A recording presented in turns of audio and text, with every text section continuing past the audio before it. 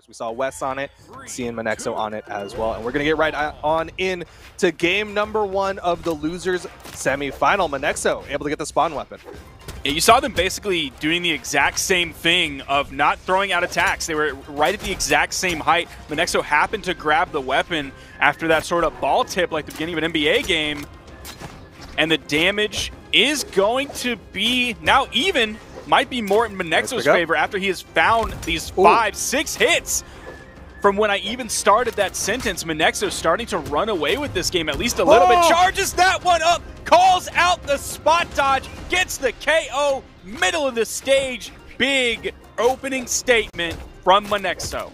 That side signature is such a big call out. Like, you're just stuck sitting there watching them charge up this bow, but D-Light into Ensig and Fiend immediately responding back onto Monexo. Still took a little bit of damage on that second stock, so it is in favor of Monexo.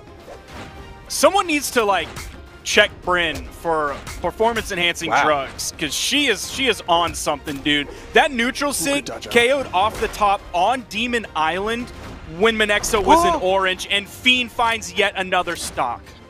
And Monexo just falling off there. You saw the stars come out. That was a stuffed recovery. I didn't realize he had burned so much else with that one. And so Fiend suddenly stealing the lead after Monexo had a fantastic oh, start, oh, no. eating the down signature as well. The golf swing from the axe of Fiend. Still gets the wall touch, so Fiend's going to get up. But the tatami mat sends him flying.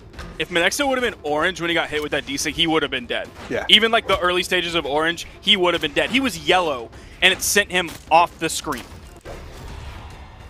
Still able to convert into the downlight recovery to even up the stock count, but man, Fiend looking good. Has Monexo in the orange. Good dodge up this time. Not going to fall for the same trick twice. Goes for the sidelight there. It has enough verticality to grab Fiend out of the side signature that does lift Brynn up just a little bit. Gets away from the D-Sig. Now, sometimes I forget how much damage that Spear D-Sig does, but Brawlhalla Twitter is always there yeah. to remind me that it does 42 damage. There's a there's definitely a bot out there that just uh, tweets out 42 damage every time a Brynn hits uh, Spear down Sig. Monexo looking good. Put Fiend off stage, does disarm him, missing the down heavy, and the tatami mat does punish, but both of them getting into the red. Fiend again missing the side air, but the neutral Sig and Fiend closes out game number one. That was some really good uh, spacing and dodge timing coming out from Monexo towards the end. You saw how close the end of that game was. And after that massive lead, first the orange KO and then the like yellow to orange KO that Fiend took early on, Monexo was still able to bring it back. Yeah, that was swinging both directions. Like there was a very real possibility towards the end of there that Monexo could have won that one. Loving to see what he's doing with the bow here. And of course, no character swaps as we go into game number two. Same map, Demon Island. Three, two, the walls were somewhat of a non-issue. Like you saw the KO that happened on the right side, the second stock that Monexo lost. I don't really think that was necessarily a wall issue of just Monexo getting caught uh, after in-air movement option after in-air movement option, and Fiend just continuing the pressure up. Ooh, goes for the double D-Light. Dodge comes out from Monexo. Yeah, I knew that could have been big because he caught Monexo before Monexo touched down to the ground, but a good dodge from Monexo got him back towards the stage. Ground pound, little bit risky there, but Monexo doesn't go for a turnaround instead, just opted to go for the safe move, dodge through, and back off. Dashing coming out from Monexo. You see, he's throwing out so many attacks. He'll throw out more attacks than Fiend does because he's playing Koji. That high dex makes him tough to punish. Yeah, lots of safety on those moves with that high dex. Big side air, though, puts Monexo off stage and disarms. Pogo eating the recovery and still denying the wall touch. Almost got it there, though. Had he hit that neutral air, could have chase dodged up, could have gotten the wall touch. A little bit of a risky play there from Fiend. You know, he was uh, he was mashing that dodge button too. He was really hoping it was going to come off a cooldown. You're seeing the gravity cancel taunt coming out, indicating there was a connection issue. That has ceased now that another taunt came out from Monexo. Fiend going to honor that. A very South American thing to do. Yeah, I know you've said it time and time oh, again. you take those, Sparky. Fiend yeah, not really wanting to take those, but I mean, come on. It's it's a tournament here. Losers bracket. Monexo on his final stop. Now you see him choosing to actively not move because if there's a teleporting option, you definitely may not be where you think you are on the stage. I think that might be what happened towards yeah. that part of the game where he fell. You see him just jumping straight up in the uh, air. Still not a ball. There. You're seeing a little bit of left and right movement. Okay. I think he's making okay. sure he is on the map where he oh, thinks Fiend. he's. Fiend, homie stalking. What are you You're doing? You're so nice, Fiend. You're crazy. it's tournament. What? Don't, don't, lose the set. If you if you lose a set after the homie stock, I'm not saying I'm gonna tweet a clown emoji on Twitter, but wow, I'll be thinking it. What an honor play from Fiend. You know, say what you will, but that was that is the highest honor, is to homie stock twice, to go down to final stocks here in game number one. The game one, it's the one that sets the momentum. It gives you map advantage in game five, but wow. Monexo staying at range from Fiend, avoiding a lot of these weapon tosses that come out, avoiding a lot of Fiend's moves as well. Hasn't found too many punishes. Gets a nice one there. It's the side air bouncing Fiend off the stage. Finds the neutral light as well. You heard the signature coming out from Fiend. Doesn't quite reach with a down light. GC down heavy. They are dead even now after the homie stocks from Fiend. Fiend has an axe in his hands. Oh. Monexo avoids the ground pound. Goes for the D-Air to punish. That's why you don't homie stock. Yo, you know, you could you could you could have given one and you would have been just as honorable. Two was going above and beyond. Monexo gonna take game number one, but Fiend going out in a way on his own terms as uh, he only stocked twice. And we're gonna go into game number two. Demon Island banned out this time by Fiend, leaving Crystal Temple, Small Mammoth, and Apocalypse. We're going to Small Mammoth. Still a pretty long stage, has the long side walls. This is game three. He won game one. My bad. Did, did I? Yeah, okay. I, I missed. I that was, no, no, I, I, that was on me. It happens so often when it comes out of my mouth, and I don't even recognize it. So I'm, I'm just used to you correcting me. No, you're good. This time, I was the one who was wrong. We're going into game three, Monexo versus Fiend, and Monexo not having any issues starting this one off with the sword plays. Ooh, dodged into it. Just hits a raw neutral signature from the middle of the stage. Starting off strong, has a little bit of a damage lead here, but that punish is going to delete that damage lead, put them equal now. That's two sidelight Sayers that Fiend has found. A little bit tough to find that consistently. Oh, and just a raw nice. neutral signature, this time from Fiend, getting the KO. Caught Exo jumping. Yeah, not quite enough to finish off the stock, though. Monexo might have that turnaround, missing the pogo onto Monexo. Charging it up, punish. It's just going to be the side air from Fiend. Dodges All right, to bro. avoid the side signature. Both of them looking for the knockout.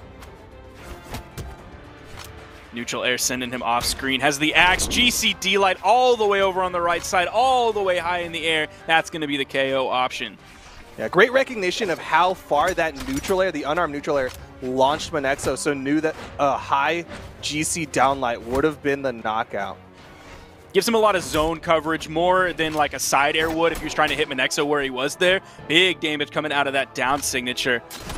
But also, like, if you hit a Nair there, that wouldn't have had enough juice yeah. on it to get the KO. So the GCD Light, definitely the right option.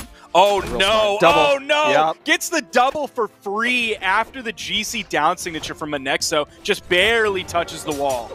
Yeah. He burns his dodge on the gravity cancel down signature, so Fiend knows that that double down light is free. Massive lead here for Fiend in game number three. Almost getting the side air to finish off the stock, but Monexo finds the recovery, and that will get this sort of even, but he is deep red.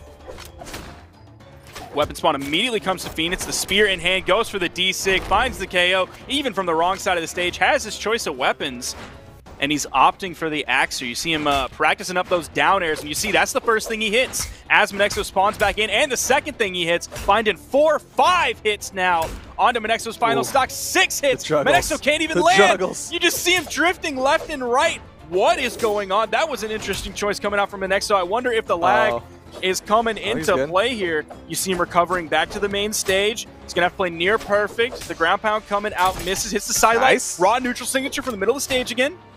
That was a great read. Saw that Fiend was going to go for the downlight throughout the neutral sig, able to punish it. Also would have hit grounded, so just a really good option from Monexo, but he is behind in the red. Last stock here in game number three, and he's waiting to go pick up the weapon.